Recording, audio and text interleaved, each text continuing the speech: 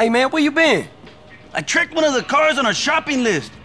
But the crazy bitch, she drives like the devil. I've been following her for hours, but she stops for nothing. You'd have to ram her off the road in order to get a chance to get her car, and you know a wrecked car is no good to us. I swear she's playing with me. Dude, calm down. If she playing with you, then she probably won't get one time involved until it turn ugly. We gotta find a way to stop her or slow her down. Too bad we can't involve the police. Cause then we could pop her crazy bitch tires and bang her crazy bitch ass in jail for being a danger to my sanity. You know what? I think I got an idea.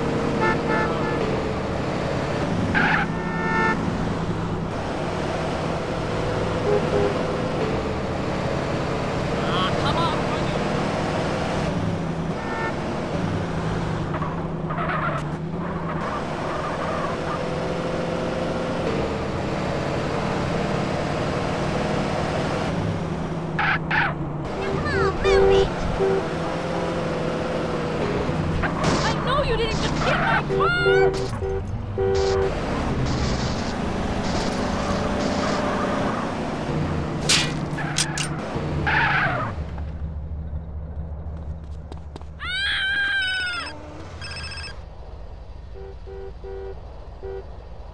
CJ, how's it going with that crazy bitch, eh?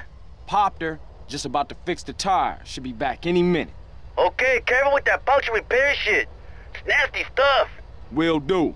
Later, man. Man, stuff is disgusting. Oh, shit. All over my clothes. Oh, what you doing, my wheel?